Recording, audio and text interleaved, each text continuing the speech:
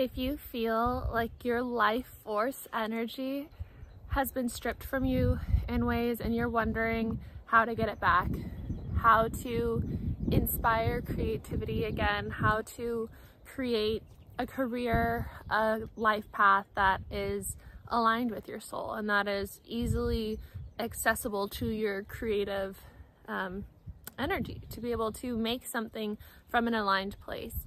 So this one's for you. So I was just diving deep into this topic in my meditation, in my book that I'm reading, still transurfing, almost there. It's a dense book. The lessons in there, like you really got to grasp it. And so that's one that I've been taking my time with over the past like month and a half. And so the concept of inspiration and creativity, and I, I have a lot of stuff that came up for me when I was reading this, a lot of stuff about the job that I was just in for almost five years, where I was a creative director, producer, social media, all the things, customer service. I was the only employee at the company and yet I was so underpaid. but I accepted that. I accepted that because that's where my worth was, my self-worth was. And so that everything is, we're no we're never a victim, right? We are in control of our reality. The the certain life contracts that we have maybe earlier on in life or some of the really intense things they are designed to help us remember in the ways that we're meant to remember. Like I would say that I really um, front loaded my life. I don't know what the rest of it's going to look like, but with intense things to learn and remember and to go through many dark nights of the soul and to hopefully the wind's not too loud today. Um, and so my mom on the other hand like she had a lot of stuff earlier on too. Her dad died when she was seven a lot of things.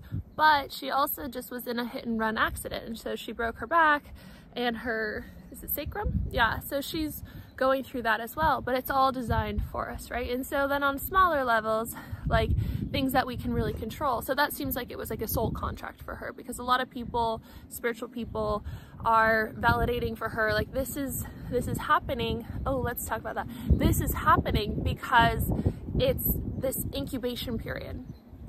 She's getting upgraded to the new energy to be compatible with this new 5D and to whatever, like all the things that are coming to earth, all the upgrades.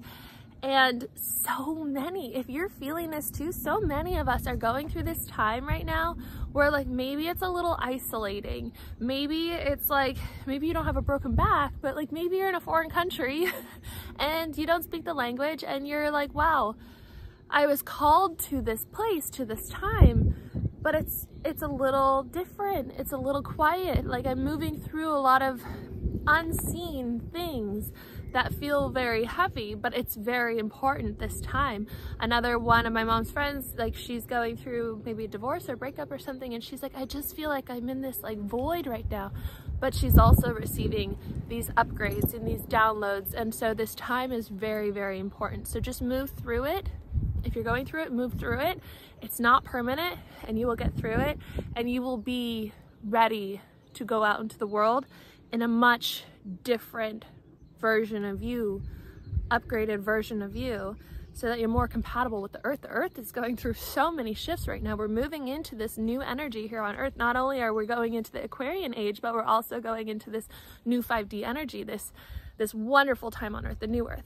And so when I was in this job that underpaid me, that I allowed to underpay me, that I attracted so that I could learn where my self-worth was at, another thing is when we're dating, when we're making new friends, when we're meeting people just in general in life, they are a reflection of you, of where you are at. They're showing you exactly where you are. That's why my first dating, my chronic first date period that I was on last year when I was still in California, I was going on a lot of first dates. So were my roommates. It was, it was fun uh, to have that experience. But I could see who I was attracting and it's not always like black and white. Like it's not like, oh, this is exactly where my energy is, but like what are they bringing up in you? So that's how you can see where you're at in your evolution is who's in your life. Who are you attracting? What circumstances, situations are you attracting? And that's where you are. And that's what you get to work with. So I was in this job. Does anything else want to come through?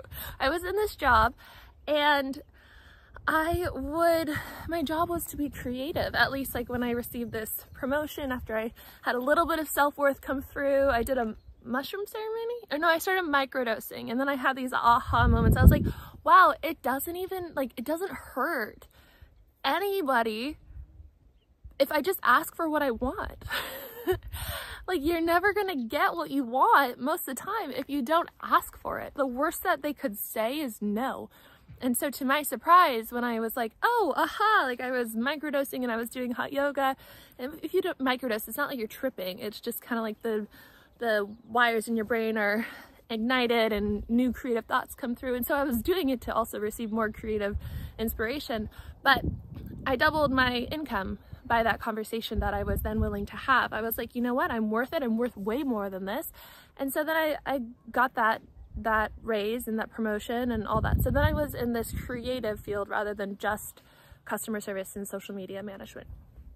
But so often I would just look at my computer and I would be like, how am I supposed to create something today? Like how I would write scripts and concepts for uh, for videos that we would make for ads and uh, different things like that. And I was like, I just like, I would be like, come on, like, let's think of something. And it would just be nothing. But then if I look at like the whole picture, the person I was working with or for, there was a few people in the company, the person who owns the company, so wonderful, so smart, so great, so inspirational. Uh, so there's a certain person that was like, they were the type of person, which is very familiar, and I feel like I just attract this person in many different forms, and many different humans, many different situations, and they always need somebody to blame uh, for their problems. And so one moment maybe you're their golden star, and then the next you are the source of everything that is wrong in their life. And so I was feeling that from this dynamic. And so I was like, wow, I'm dedicating my life 40 hours a week, almost five years in this company, and I am just being disrespected in so many ways. and now I'm supposed to produce creativity, and creativity is so sacred. It's a sacred thing. We all have creative energy. The essence of who we are is this creative energy. Everything here is creation, divine creation. And so when you can tap into your creativity, you're tapping into the divine. But if you're living in the unconscious, if you're putting yourself in situations or staying in situations, staying with people who just bring out the unconscious in you, who are completely, completely thriving in their own, not thriving, but um, existing in their own uh, unconsciousness, but not like not taking the conscious moment to realize how, you know, they're responsible for something in a situation. And so I was, it was turned off the creativity was turned off. You know, sometimes I would be able to like go out in nature, do a gratitude practice, and then I would have some stuff come through. But in an environment like that, you're not going to find the inspiration and the creativity that you are capable of. The potential in that was just that. It was, I was at a halt. Like it wasn't, there was no more.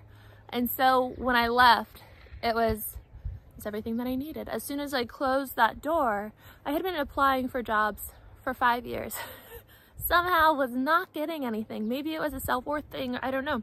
As soon as I closed that, people, so many people and opportunities started finding me.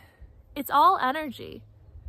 And so I was like, okay, no, I choose to honor the sacred path within myself to find my own creativity and to never waste it in a situation that is not my soul's purpose and my soul's path.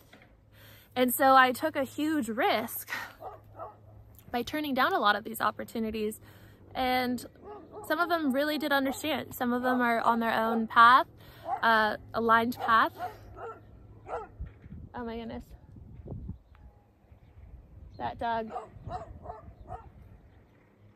is not on a leash. Okay, we gotta move. Okay, so we moved a little bit. Um, I have Arlo here with me. That's why I left. Uh, it seems like, and I've talked to a few people about this, in Europe it's not as, I'm here in Portugal by the way, if you don't know. Uh, I'm doing van life now, just doing my thing, following my soul's path even when it doesn't make sense. um, it seems like a lot of dogs are, it's not encouraged for them to be neutered or spayed. And so I was wondering why when I first got here four months ago to Italy, everyone was asking if Arlo was a male. And I was like, why does everyone ask that here? And like everyone, there's a bee, um, seems to have a problem with male dogs. And so I think it's because they're not neutered. So there's a lot of aggression, it seems, in dogs that are male. So when I saw that dog coming towards us and barking, I was like, and not on a leash and no fence and no owner, I was like, that's not something I want to be involved in right now. um, so anyway, saying no when it's like whatever, like it's the same thing that we were talking about earlier. You will attract situations that are aligned with your current energy. And so because I was like still in that energy of that job that I had, I could tell that I was attracting jobs that really mimicked like what that job would be again in another form. I even attracted a, a yacht opportunity that took me to the exact port and dock in Mexico. I said yes. I probably failed the test, but I learned a lot. Uh, it, that I was, before this job, I was working on a yacht. So I, it's like patterns just repeat themselves until we learn. And so then I was like, you know what, I'm just gonna start saying no to things. And when you say no to things and you don't know what's next, you're trusting the unknown, that's an abundance mindset. And so when you are in a place of trusting your path and you're getting quiet, you're meditating, you're finding mindfulness, you're getting in nature, you're surrounded by joy, by people who love you, respect you, when you're in that flow and you're not being like disrespected or operating within the unconscious or having, you know, other unconscious people bring out the unconscious in you, then you can tap into your inspiration and your creativity in a way that is impossible to do in a, a toxic environment or relationship. Like in my relationship, when it was getting really bad and there was a lot of arguing and everything, I was like, I can't function. Like not only is my job not allowing me or the environment where I can really tap into my creativity, but with this going on as well, I was like, how am I supposed to do anything? I was just like, wow, my life force is gone. And so it's really important to put yourself in an environment where your life force can flow through you. Maybe you're not ready to leave your job yet, but if you can make the time or whatever it is, a relationship, whatever it is, if you can make the time to center and to find your soul, which is like through mindfulness. When you're mindful of your breathing, of everything around you, that awareness, don't knock that over, boo-boos. Um, that awareness is you. And the more that you can get in there, the more that you change the momentum of your life, you change what you're attracting to you. That's why people say meditation changed their life. It's like they started doing meditation or yoga like yoga, I love yoga, but I've been doing it for 10 years, so I don't even get the same benefits sometimes, like especially if I do the same kind of class with the same teacher all the time, because I can zone out. It's about being mindful. When you're, when the more time that you're mindful, the more you're going to attract things to you that are aligned with your soul. The more you're aligned with your soul, the more life force energy you're going to have. The more you're in your joy and following that joy and that curiosity and that inspiration, the more you're going to have creativity available to you, the more inspiration you're going to have within you, obviously. So, I love this message. I hope that it resonated. If you like this video, please give it a thumbs up. Subscribe if you are new here and leave a comment if you feel called to do so. I will see you in tomorrow's video. We've been doing daily videos. Oh yeah, that's what I was gonna add. We've been doing daily videos on here for two months now. And the thing about it is that I'm never like, oh, I have to go make a video today. It's something that I committed to doing because my dad and I are still having a competition. He's failing because he hasn't posted once, but the competition was to see who would grow their channel the most by my birthday, March 22nd. And so I was like, you know what? I'm gonna post every single day and just see where that takes me. And it's changed over time and I found more and more inspiration. At first it was just like, hey, like solo traveling in Switzerland. I think it was in Switzerland when I started and this is what I did today. And then I was like, you know what? I'm reading this book. I have this inspiration, this topic I want to talk about, this thing that really helped me. And so it's just been like every day I'm like, oh, I can't, I can't wait to talk about this. Or I'll be reading something or something will be downloaded and I'm like, wow, I can't wait to, to dive deep into that with people here on YouTube. And so the more you follow and just allow yourself to explore your curiosity, the more inspiration and creativity you will have and the easier it gets. Some people have been like, wow, you've been putting in so much work on here. It's like, it doesn't feel like it. it doesn't feel like it at all. It's just, it's pretty easy. Like how many hours do people spend scrolling and like doing unconscious things if you just dedicate however long, you know, these are like 15 minutes, sometimes 20, 25. If you dedicate 15, 25 minutes a day to something that is really like an inner calling, like see where that can take you.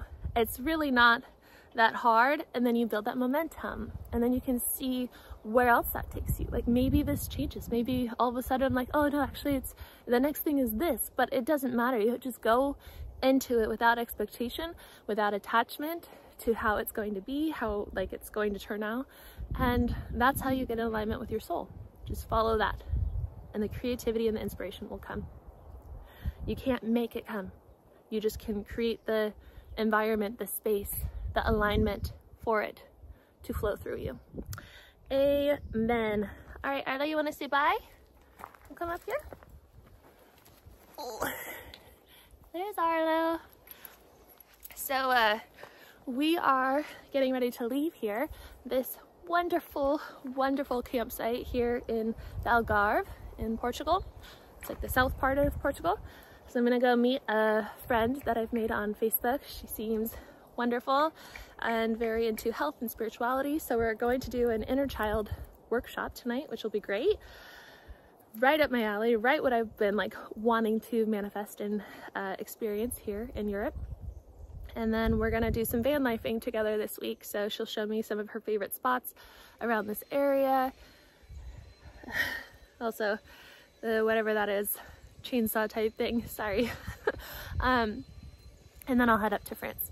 And so up in France, my mom will be there. We will meet there in the countryside back to where I was. I made some videos while I was there. I was only there for a few days and then I was like, oh, I got it. Inspiration hit. I was like, I gotta go get a van. So I did all the research and I found the perfect one. It was pretty far away. So I did like a 10 hour train drive uh, ride to Barcelona to get this rental car deal that my brother found and without knowing that the van would be available after I booked the rental car, then it was available. So I drove six hours to go see the car.